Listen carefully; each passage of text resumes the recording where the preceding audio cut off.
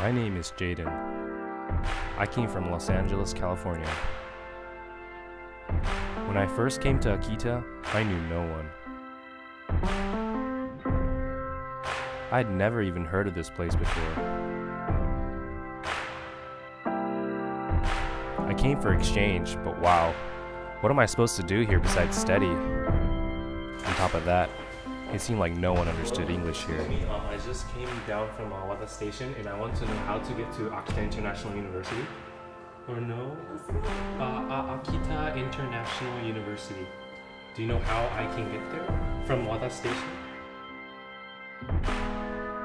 I knew my life in Akita would be different, but not to this degree.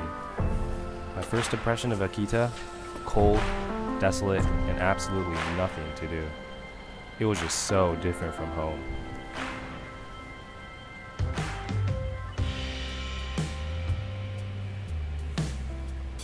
Growing up, I didn't have much at all, but when I was 8, my dad got me a keyboard, and I've been hooked on music ever since then.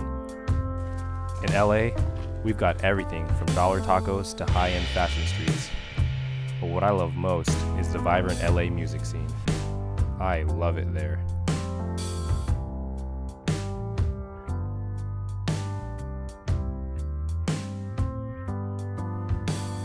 In Akita, there are fruits that I've never tasted before, natural landscapes that I've never seen before.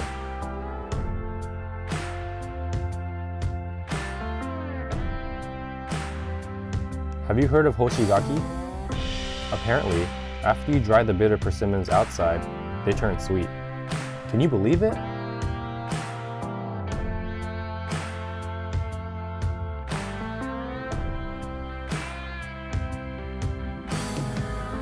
I heard the reason why it becomes so sweet is because the temperature difference between the warm days and the cool nights. Man, nature is so beautiful. It was so delicious. I wish my friends back home could try some.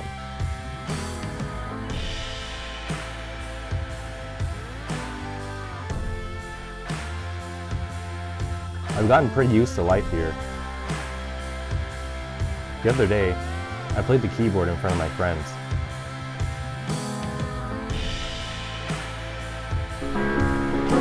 Akita taught me, it's not the place that matters, but the people you're with.